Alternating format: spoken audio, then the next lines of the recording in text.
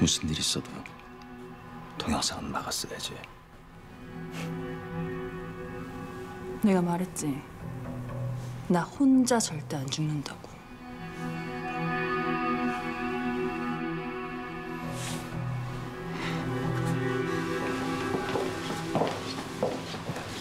장 에스더 씨가 공범이라고 일관되게 주장하고 있어요.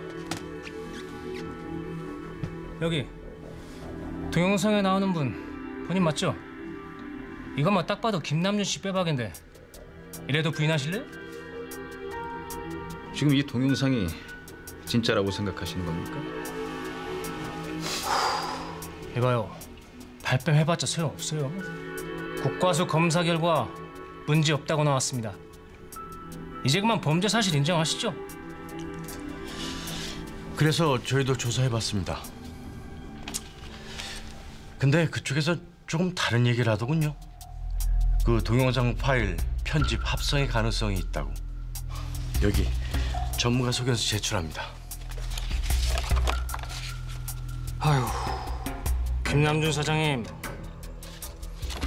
나 물렁하게 보지 마세요. 무조건 당신 쳐놓을 거니까. 에?